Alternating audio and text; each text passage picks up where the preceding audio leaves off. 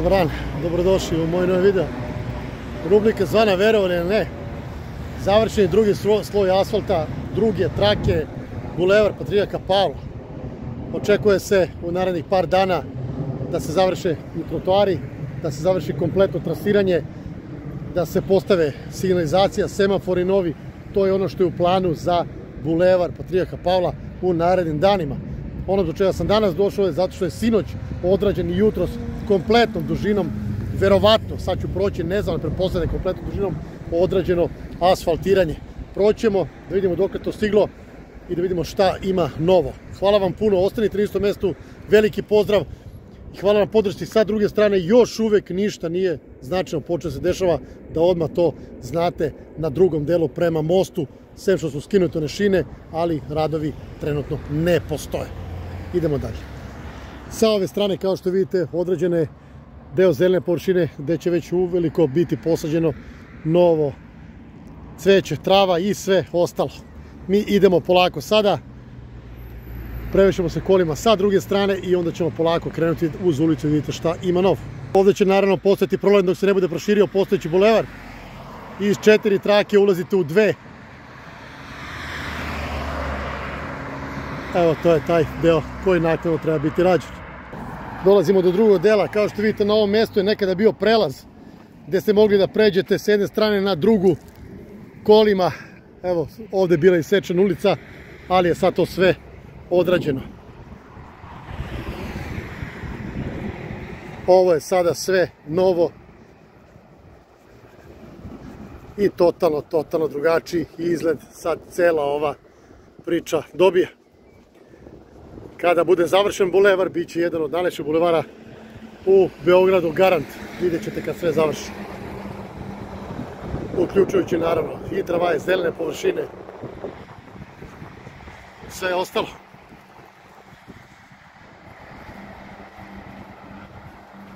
Vidimo da su šaktovi i sve sa strane odrađeno dobro, znači sve se uklopilo, sve je u ravni kao pista. Bravo za majstore koji su i danas i juče radili na ovom delu projekta.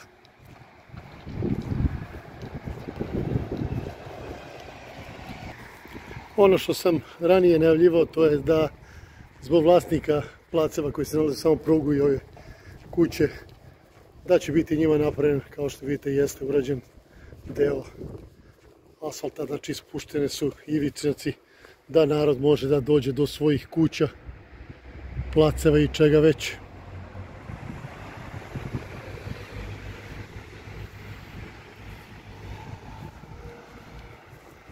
To važi i za ovaj deo, sam rekao da bi bilo dobro da ja asfaltiraju, naravno, ljudima i to je i urađeno. To je bila moja prepostavka da ću uraditi, ali su oni to stvarno radili. Bravo.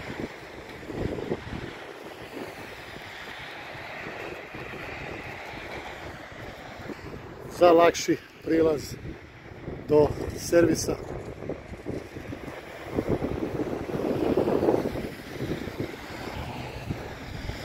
U ovom delu vidite da je sve urađeno do servisa. Sad ćemo natiti dole od perionice pa novi deo puta. Do sada sve asfaltirano, sve odrađeno. Nema greške.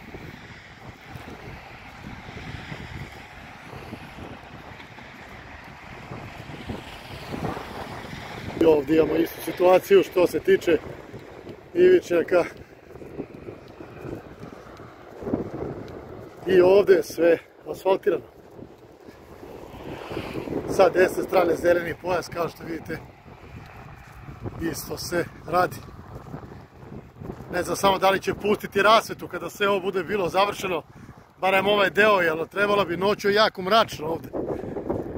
I baš je nezgodno za vožnju.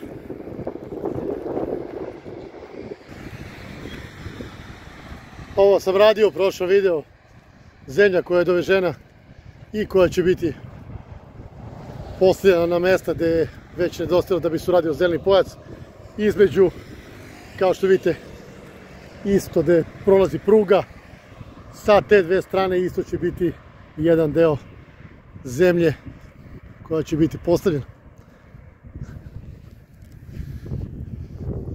Cijelom dužinom su naši neimari odradili deo puta, kao što vidite, nevjerovatno, kao asfalt, kao pista.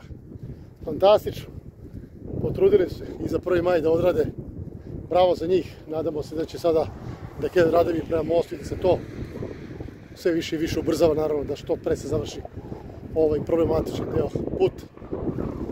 Pa daj. Sa ove strane napravljen je ulaz, a sa druge strane izlaz kod uh, ovog uh, trafostanice. To je za deo koji je potreban, naravno, za željezničku stanicu, to je za prugu. Tu se nalazi unutra, kao što znate već, plavi voz.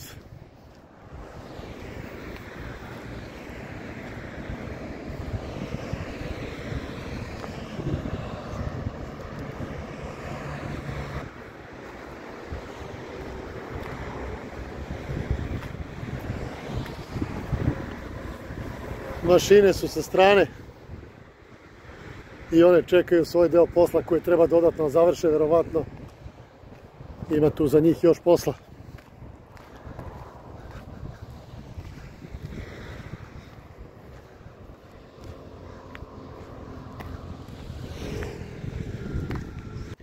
Ovdje na ovom delu vidimo cev koja postoji za vodu, verovatno za odvod. E sad, da li je to u funkciji još uvijek ili nije, ali to treba se prikaći opet na neku mrežu. Ja nemam tu informaciju, ali vidite sa koje strane dolazi to definitivno ne bi trebalo da se izliva u postojeći deo topčiderke. Vjerovatno će i to biti regulisano.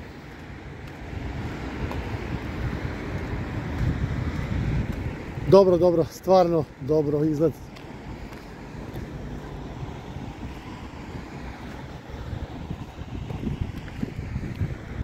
Na ovom mjestu pitali ste me zašto sužava dva stuba, to su stubovi za obaveštenja, za znakove. Jeste se nalazi na sred prolaza, ali tako mora, ne može drugačije.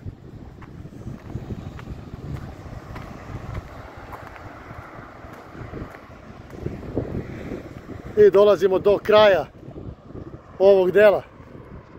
Kao što vidite, putevi su povezani. Od početka do kraja sam vam snimio, znači,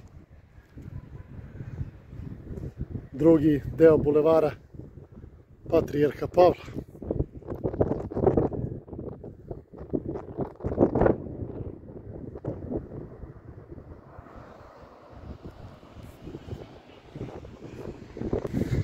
Preko puta, kao što vidite, nalaze se objekti koje sam snimio jedan put. Vidim da je sada krovi su poskidani, vidim da je ovdje došlo do rušenja određenih objekta. Ja ne znam kome to pripada.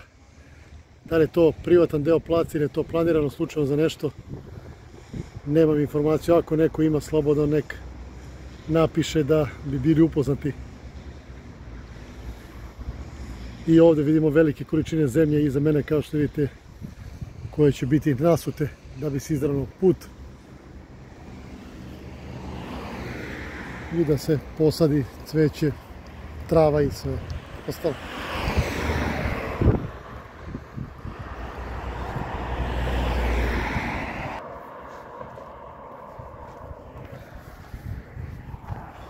Da ne bi ostao dužan za svaki slučaj šest različitih firmi je na ovom delu izvođene radove.